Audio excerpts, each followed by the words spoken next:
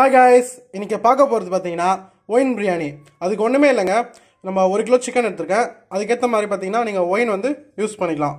ஒரு ரெண்டு class wine but எங்களுக்கு வந்து ஒ- குழந்தைகளுக்குலாம் ஒயின் சாப்பிட பிடிக்காது. எங்கள் வீட்லேயும் ஒயின் சாப்பிட ஒத்துக்க மாட்டாங்க. சரி சில பேர் வீட்லேயும் அதுமாரி ஒத்துக்க மாட்டாங்க. ஒயின்லாம் சாப்பிடக்கூடாது அப்படின்னு சொல்லுவாங்க. அதுக்கோசம் ஒன்றுமே இல்லைங்க. நான் வந்து நார்மலாக நம்ம வீட்டிலே செஞ்சுக்கலாம். ஒன்றுமே இல்லை. ஒரு அரை கிலோ கிரேப்ஸ் வாங்கிக்கோங்க. ஃபஸ்ட்டு பார்த்தீங்கன்னா தண்ணியில் நல்லா வாஷ் பண்ணிவிட்டு அது நல்லா மிக்சியில் போட்டு அடிச்சிருங்க. அடிச்சுட்டு கிட்டத்தட்ட ஒரு ஃபோர் ஹவர்ஸ் அந்த கிரேப் ஜூஸை வந்து வெளியே வச்சுருங்க. அதுக்கப்புறம் கிட்டத்தட்ட ஒரு டுவெல் ஹவர்ஸ் ஃப்ரிட்ஜில் வச்சுட்டு திரும்ப அடுத்த நாள் காலையில் வந்து நம்ம சிக்கன் மேரினேட் பண்ணதுக்கு அதை யூஸ் பண்ணிக்கலாம். நான் அது மாதிரி எடுத்து வச்சுட்டேன். கடைசியில் கடைசியில் ஃப்ரிட்ஜிலேருந்து எடுத்து வைக்க சொல்ல பார்த்தீங்கன்னா ஃபில்டர் பண்ணிக்கினேன். ஏன்னா பார்த்தீங்கன்னா அதில் தோல் அந்த சொல்கிறது சீட்ஸ்லாம் இருக்கும். ஸோ அதனால் வந்து நான் ஃபில்டர் பண்ணிக்கினேன். ஓகே நான் இது மாதிரி எடுத்துன பிறகு இந்த கிரேப் ஜூஸை வந்து நம்ம வெறும் சிக்கனில் மேரினேட் பண்ணிக்கலாம்.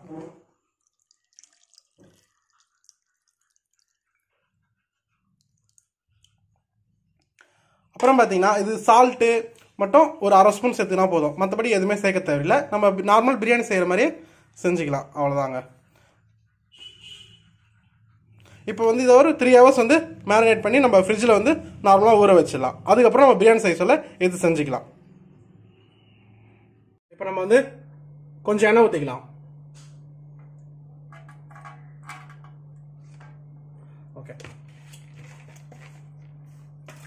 அப்புறம் பார்த்தீங்கன்னா இப்போ நம்ம ஒரு கிலோ அரிசி செய்கிறோம் அதுக்கு வந்து மூணு அண்ணாச்சி இலை மூணு அண்ணாச்சி பூ மூணு இலை அப்புறம் கொஞ்சம் கடல் பாசி அப்புறம் லவங்கம் பட்டை ஜாதி பட்டை.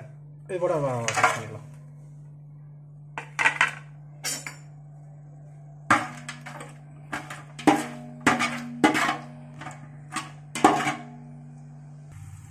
இப்போ வந்து நம்ம வெங்காயத்தை கொட்டிக்கலாம்.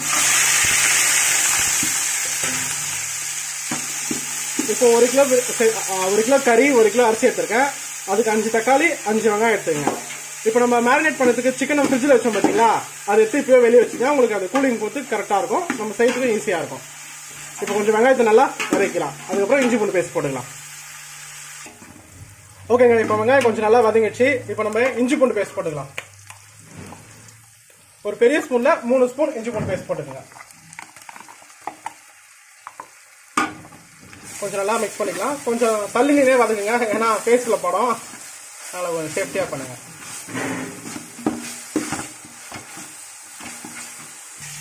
இப்போ இஞ்சி பூண்டு பார்த்தீங்கன்னா கொஞ்சம் நல்லா வதங்கியாச்சு. இப்போ நான் ஒரு ஏழு பச்சை மிளகா லைட்டாக கீறிட்டு நீங்கள் அதில் போட்டுக்கோங்க.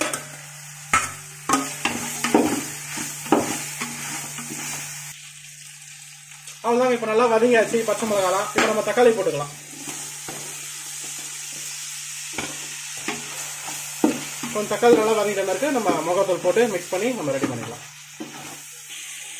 பார்த்தீங்கன்னா இப்போ நல்லா கொஞ்சம் தக்காளிலாம் நான் வதங்க ஆரம்பிச்சிச்சு இப்போ வந்து கரெக்டாக நம்ம பச்சை மிளகாய் ஏழு போட்டதுனால நம்ம தேவையான வந்து வெறும் மிளகாத்தூள் போட்டுக்கலாம். உங்கள் காரத்துக்கு ஏற்ற மாதிரி நீங்கள் போட்டுக்கோங்க. கரெக்டாக இருக்குன்னா மூணு ஸ்பூன் மூணு ஸ்பூன் போட்டால் போதும். பட் நீங்கள் காரம் கம்மியாக சாப்பிடுவீங்க அதிகமாக சாப்பிடுவீங்க. ஸோ அதுக்கேற்ற மாதிரி நீங்கள் காரம் வந்து நீங்கள் கரெக்டாக போட்டுக்கோங்க. இப்போ நல்லா கொஞ்சம் நல்லா ரெட்டாக வந்துடுச்சு இன்னும் கொஞ்சம் நல்லா வதங்கிட்ட இருக்குது இருக்கு நம்ம சிக்கன் எடுத்து ஃப்ரிட்ஜ் இருந்து வெளியே எடுத்து வச்சோம் பார்த்தீங்களா அதை போட்டு நம்ம மிக்ஸ் பண்ணிக்கலாம். இது ஒயின் பிரியாணி எடுத்தாலும் நம்ம சாதாரணமாக தான் செய்கிறோம் ஒன்றுமே இல்லை. நான் ஏற்கனவே சொன்ன மாதிரி ஒயின் பிரியாணி வந்து நீங்கள் கடையில் வாங்கி ஃபுட்டுக்குன்னு ஒயின் இருக்குது அதை வாங்கி செய்யலாம். நம்ம எங்கள் ஆஹ் வீட்டில் வந்து ஒயின்லாம் சாப்பிடக்கூடாதுன்னுவாங்க. நிறைய பேர் வீட்லேயும் ஒயின் சாப்பிடக்கூடாது அப்படி நிறைய ஸ்ட்ரிக்டாக இருக்கும். அதனால தான் நான் வந்து கிரேப்லேயே செஞ்சுருக்கேன். அது கிரேப் வைக்க நான் சொல்லிட்டேன். இருந்தாலும் ஒன்றும் அப்படி சொல்லிக்கிறேன். ஒரு கால் கிலோ கிரேப் வாங்கிங்க தண்ணி நல்லா அலசிட்டு நல்லா மிக்சியில் போட்டு அடிச்சுட்டு ஒரு ஃபோர் ஹவர்ஸ் நீங்கள் எடுத்து வெளியே வச்சிருங்க. வெளியே வச்சுட்டு அதுக்கப்புறம் நல்லா ஃபில்டர் பண்ணிட்ட மாதிரி இருக்குது அப்படியே கூட வச்சுக்கலாம்.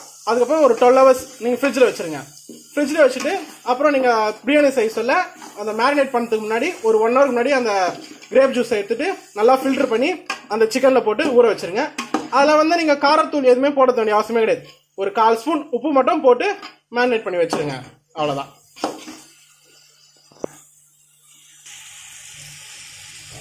உப்பு வந்து மூணு ஸ்பூன் போட்டுக்கோங்க. அதுக்கப்புறம் நம்ம அரிசி வச்சுட்ட மாதிரி உப்பு அளவு வந்து அப்புறம் பார்த்துக்கலாம் நம்ம. இப்போ வந்து கரெக்டாக ஒரு மூணு ஸ்பூன் மட்டும் உப்பு போட்டுக்கோங்க. ஏன்னா கொஞ்சம் உப்புலே கொஞ்சம் நல்லா வெந்தால் தான் நம்மளுக்கு வரப்பு நல்லாயிருக்கும்.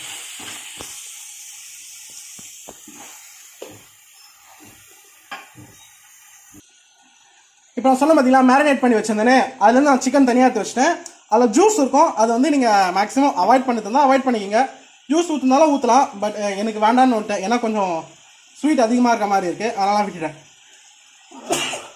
ஸோ நீங்கள் அந்த சிக்கன் மட்டும் எடுத்து வச்சுட்டு நீங்கள் மிக்ஸ் பண்ணிக்கலாம். வாங்க.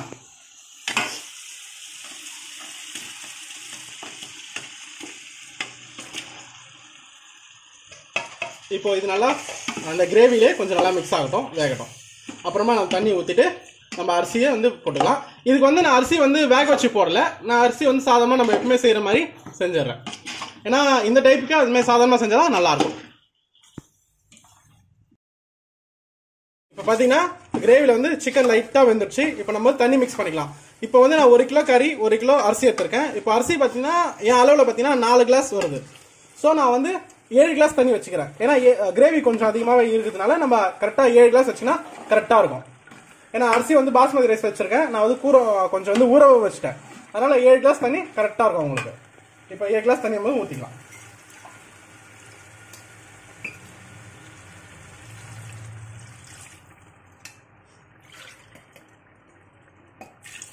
இப்போ நல்லா கொச்சிச்சு இப்போ நம்ம வந்து அரிசி எடுத்து போட்டுக்கலாம்.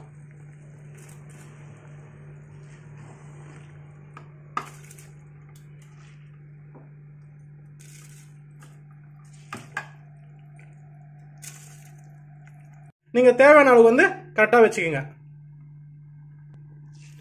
உப்பு காரம் வந்து கரெக்டாக இருக்கான்னு பார்த்துங்க. எனக்கு தேவையான அளவு கரெக்டாக இருக்குது அதே இது மாதிரி நீங்களும் வச்சுக்கோங்க. அவ்வளோதாங்க பிரியாணி வந்து ரெடி ஆயிடுச்சு. இப்போ வந்து நம்ம தம் தம் போட்டுக்கலாம் இதை. சிம்மில் வச்சுட்டு நம்ம தம் போட்டுக்கலாம். அதுக்கு முன்னாடி பார்த்தீங்கன்னா கொத்தமல்லியும் புதினாவும் கொஞ்சம் மிக்ஸ் பண்ணிக்கலாம். கொத்தமல்லி புதினா வந்து மிக்ஸ் பண்ணிக்கலாம் நம்ம.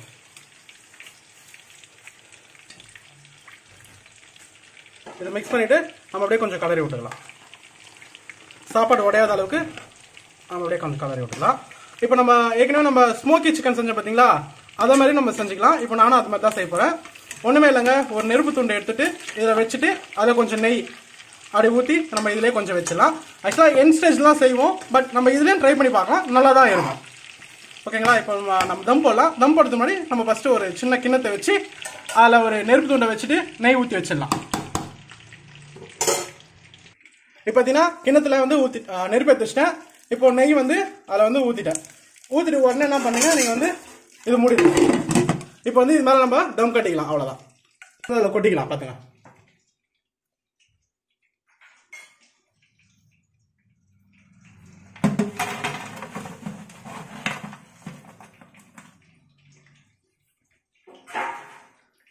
இப்போ வந்து நெருப்பு வந்து கொட்டியாச்சு.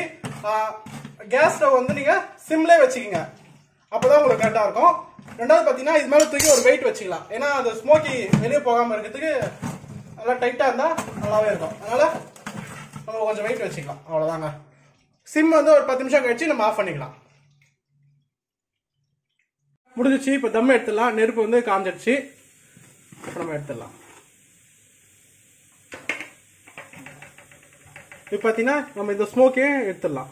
பார்த்தீங்களா? நல்லா ஸ்மெல் செம்மையாக இருக்குது லாஸ்ட் டைம் எங்கே செஞ்ச மாதிரி தாங்க வேற ஒன்றும் இல்லைங்க. அவ்வளோதான் அடியெல்லாம் தீ பிடிக்கல. கரெக்டாக இருக்கு. நம்ம சுவையான பிரியாணி.